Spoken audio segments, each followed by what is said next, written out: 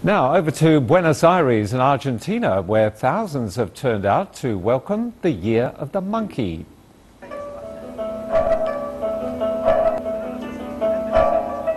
Live traditional Chinese music and performances were held throughout the day. For many, the main attraction was the endless assortment of Chinese treats and deep-fried pastries. There was also the traditional lion dance, complete with ornate lion costumes and music vibrating from the sounds of drums, cymbals and gongs. The celebration also featured the world-famous dragon dance with a long procession of Chinese dragons. Attracted by Argentina's open immigration policy, many Chinese citizens migrated to Buenos Aires shortly after the Second World War.